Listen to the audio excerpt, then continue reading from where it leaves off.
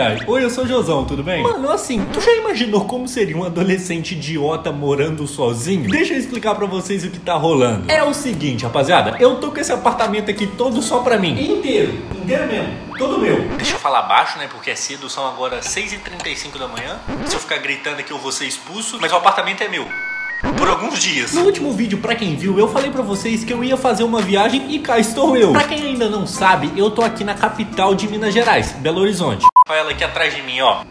Aí, a visão da cidade aí, uhul, cidade bonita. Agora chega, volta pra mim que sou mais bonito. Aí, aí, ó, ó, ó que visão. A visão ficou mais bonita agora, não ficou? É o seguinte, deixa eu explicar pra vocês de fato o que tá rolando. Eu vou passar praticamente uma semana inteira morando aqui sozinho, aqui nesse apartamento aqui. Qual que é a chance disso não dar merda, tá ligado? Repetindo a pergunta mais uma vez, tu já imaginou como seria se dar uma casa, um apartamento inteiro na mão de um adolescente idiota?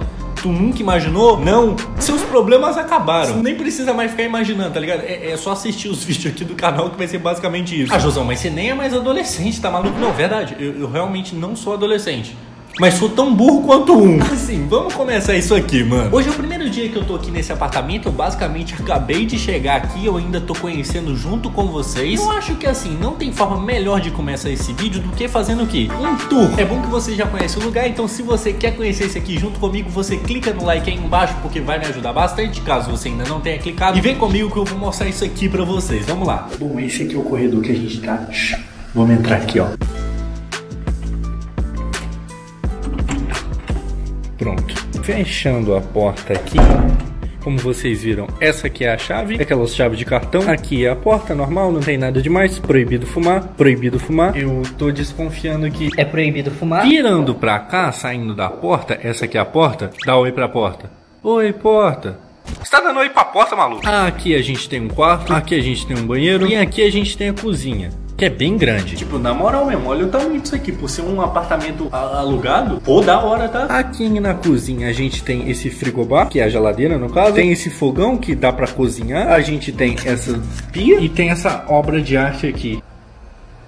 Que que isso? Aqui tem uma cafeteira. Virando pra cá a gente tem eu. Aqui tem um micro-ondas, uns copos. Uma mesa redonda aqui com três cadeiras. A mesinha de longe. Dois banquinhos um ar-condicionado, uma varanda. Isso aqui é legal? Isso aqui é legal. Na moral, eu não sei vocês, eu não sei se isso aqui é só eu, mas eu gosto muito de sacada assim. E lá embaixo tem a piscina do hotel. A gente tá no 14 andar, moleque. Isso aqui é muito alto. Tipo, cair daqui absolutamente já era, tá ligado? Tem 14 andar aqui pra baixo. Olha a altura desse bagulho. Ó, ó, a vista bonita, cadê?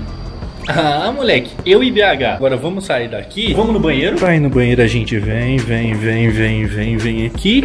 Um banheirinho bem da hora. Entrando aqui no banheiro você vê eu. Aqui tem aqueles espelhinhos que eu gosto muito que dá pra ver a gente mais de perto. Também tem negócio de secador, que é muito bom esses secadores assim. Aqui tem sabonete, mais toalha, bagulho pra dar bom cheiro, é, papel higiênico, um vaso.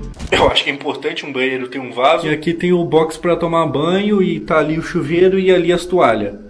Moleque, eu trouxe toalha à toa. A minha mãe ainda falou comigo: não, não esquece de levar toalha, não, porque senão o que, que você vai arrumar lá? Eu não, demorou, demorou, não vou esquecer de levar toalha, não. Tem duas toalhas ali, tá ligado? Agora, chega aqui comigo que a gente vai ali no quarto. Aí a gente sai daqui, tem essa porta aqui e a gente adentra o quarto. Essa aqui é a minha cama. Bom, aqui tem uma televisãozinha, tem um móvel para deixar as coisas. O quarto também é bem grande. Aqui tem outro espelho. Olha eu aí de novo. Fé, fé, fé. Mas aqui tá as coisas. Tem um móvelzinho, você tá vendo aqui. Aí aqui tem a janela com a visão também da cidade. Uma, um outro ângulo de visão. Salve, salve, BH. Ah, é. Voltando pra cá agora, eu vou contar o motivo dessa viagem. Antes, deixa eu só explicar uma coisa. Se por acaso eu tiver meio com cara de sono, parecendo que eu não dormi e tal, é porque de fato eu não dormi. Você é louco? Sete horas de ônibus até chegar aqui e eu praticamente não tava nem conseguindo cochilar, tá ligado? Mas enfim, raivas que eu passei no ônibus vindo pra cá, à parte, tirando isso de lado, é por isso que eu tô com essa cara de sono. Eu de fato não dormi, então eu tô tipo assim, meio, meio virado gravando isso aqui, tá ligado? Eu quero dormir na moral mesmo, não, não tô nem mais conseguindo formar frase. Mas enfim, no momento não é isso que importa, não. O que importa é eu contar pra vocês o porquê dessa viagem. O porquê que eu tô aqui hoje. Seguinte, rapaziada, eu acho que eu tô ficando velho. Ah, mas por que, que você tá falando isso? Eu falo isso porque, tipo, como? Eu tô aqui pra ser padrinho de casamento de um amigo meu. A idade chegou, não é possível. Se tem rolê mais de adulto do que esse, eu não tô ligado. Falando sério, um amigo meu ainda ano passado me convidou perguntando se eu poderia ser padrinho de casamento dele e eu obviamente aceitei, tá ligado? Só que assim, tem um pequeno detalhe nisso aí. Esse amigo mora a 700 quilômetros de distância. É longe pra caramba. Quando ele me chamou, eu falei, não, pô, eu, eu vou, claro que eu vou. Eu sabia já da distância, mas eu falei, tipo, pô, isso é só ano que vem, vai demorar pra caramba pra chegar. Chegou a semana do casamento, meu Deus do céu. Basicamente por isso eu tô aqui, basicamente por isso eu enfrentei 7 horas de ônibus a, até chegar aqui. E ainda não vai ser aqui o casamento, ainda tem mais uma hora até chegar na cidade dele. Só que eu vou ficar aqui em Belo Horizonte, tá ligado? Aí no dia do casamento mesmo, eu, eu ainda tenho que andar mais uma hora de estrada. É longe demais. Mas o que importa é que eu vou ficar hospedado aqui em BH. Porque, porque eu gosto daqui e então eu vou ficar aqui. E por outros motivos também. Como tinha muito tempo que eu não viajava, igual eu tô fazendo aqui agora, eu decidi aproveitar isso aqui ao máximo. Como assim? Eu decidi vir para cá uns dias antes do casamento e vou ficar aqui alguns dias depois para eu poder gravar uns vídeos especiais para vocês. Vai sair muita coisa da hora. Na moral, amanhã mesmo eu já vou gravar um videozão que vocês não estão nem ligados. Sem sacanagem, vocês não perdem por esperar. Já se inscreve aqui no canal que vai valer muito a pena. Fora que também eu vou aproveitar o próprio casamento em si para eu gravar um vídeo para vocês.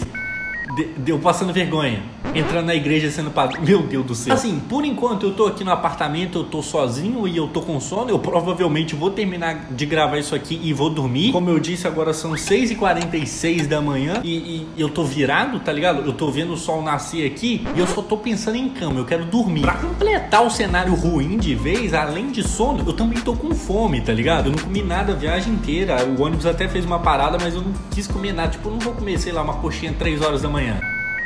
Eu não quis fazer isso ontem, provavelmente na volta eu vou. Mas essa madrugada eu não fiz, então eu tô com fome e até tem os negócios aqui para cozinhar e tal. Se eu quiser comprar alguma coisa para cozinhar aqui. Mas quem diz que eu sei cozinhar, tá ligado? Isso aí é bem coisa de adolescente burro. A gente, quando é adolescente pensa em morar sozinho, a gente normalmente só pensa na parte boa. Pô, vou ter liberdade, vou poder fazer o que eu quiser, não vai ter ninguém para ficar mandando em mim, me enchendo a paciência. E de fato, isso é muito bom de estar sozinho, igual eu que agora. Se eu quiser, sei lá, qualquer coisa que eu quiser fazer, eu posso fazer aqui. Não vai ter ninguém para me chamar atenção. Só que também isso tem um lado ruim. Por exemplo, eu não sei cozinhar e não tem ninguém aqui para cozinhar para mim.